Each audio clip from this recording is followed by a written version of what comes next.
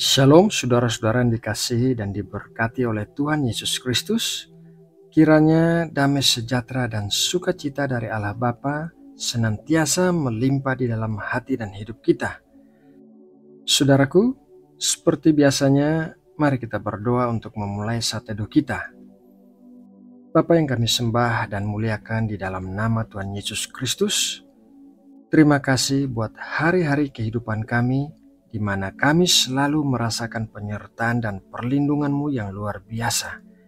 Kami bersyukur bahwa Engkau telah memanggil dan memilih kami untuk bisa menerima karunia keselamatan dan mengenalmu dengan benar. Ya Bapa, saat ini kami mau bersiap-siap untuk bersateduh.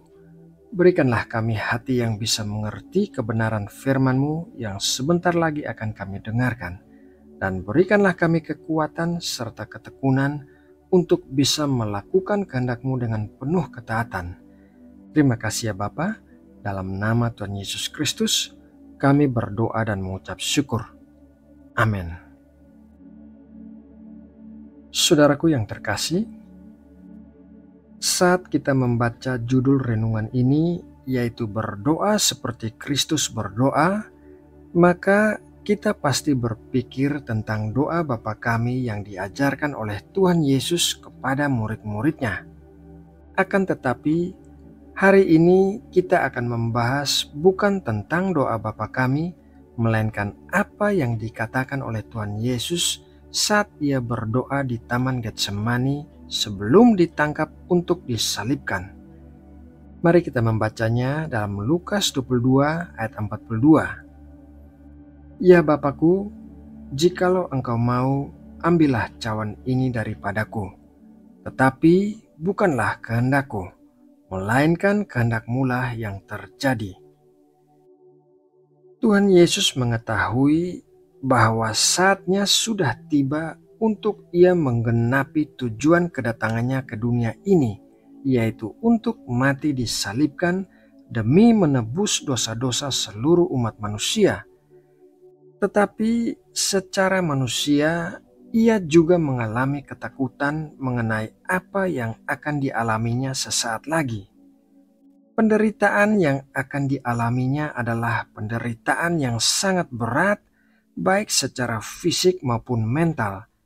Ia akan mengalami siksaan secara fisik yang di luar peri kemanusiaan, dan ia akan mengalami tekanan secara mental karena orang-orang terdekatnya akan meninggalkannya di saat-saat terberat dalam hidupnya.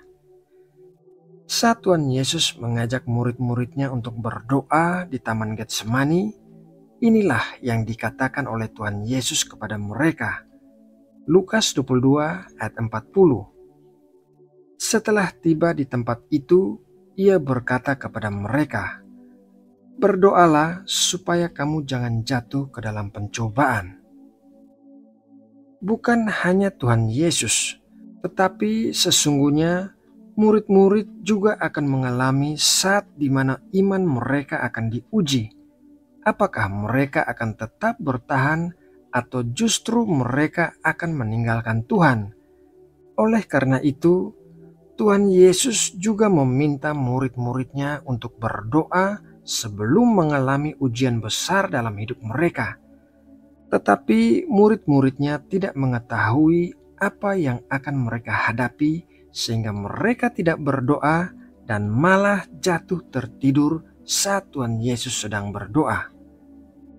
Saudaraku yang terkasih, berdoa sangat dibutuhkan, bukan hanya saat kita sedang mengalami masalah, melainkan sebelum kita mengalami masalah pun, di saat keadaan sedang baik-baik saja, kita perlu berdoa secara teratur, karena kita tidak pernah tahu apa yang akan terjadi kepada kita dalam sesaat saja.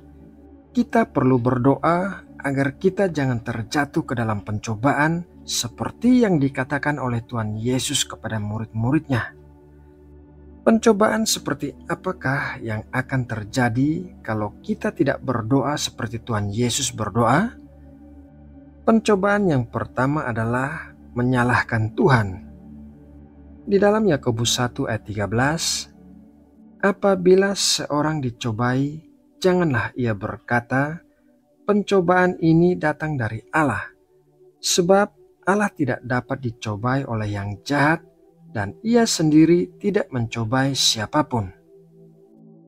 Sudah menjadi sifat manusia yang berdosa bahwa manusia cenderung menyalahkan orang lain apabila ada sesuatu yang tidak baik terjadi atas dirinya.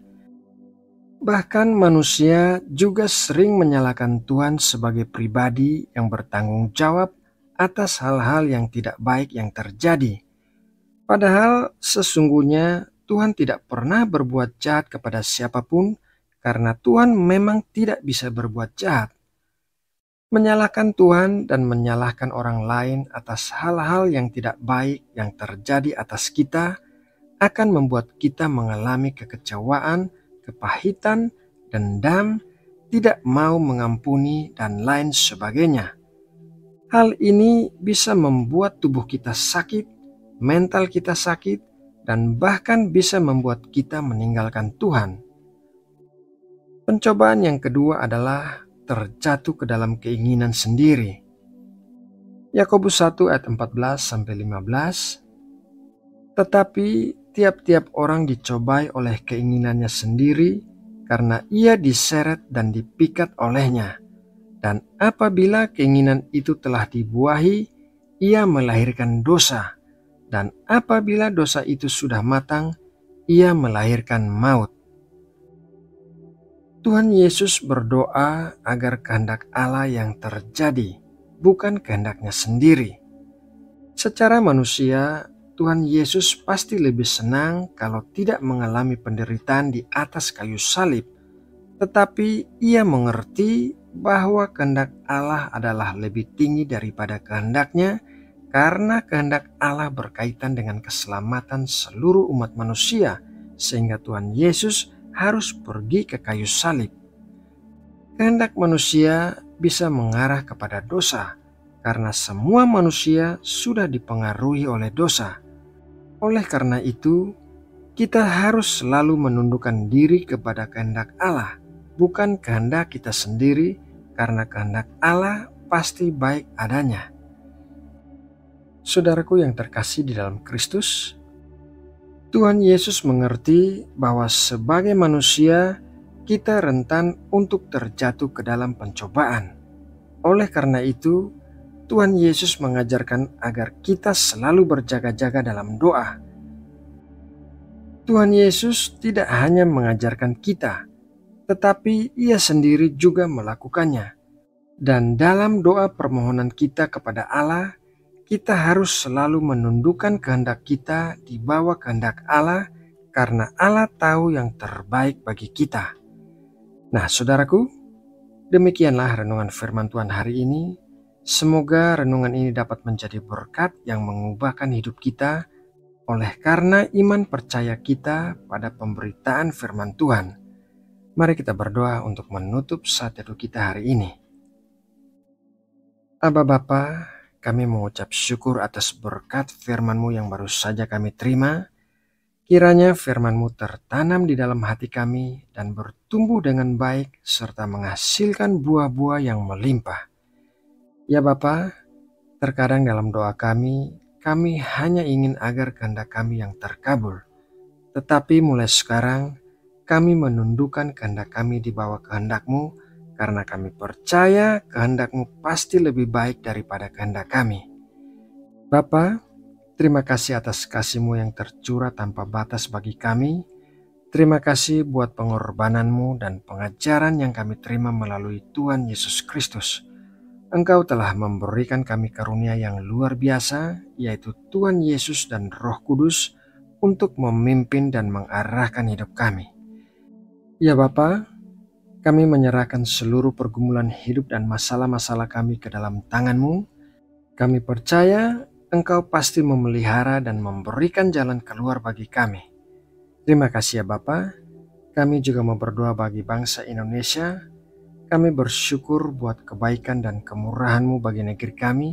Kami percaya Engkau selalu menopang dan melindungi Indonesia. Terima kasih ya Bapa.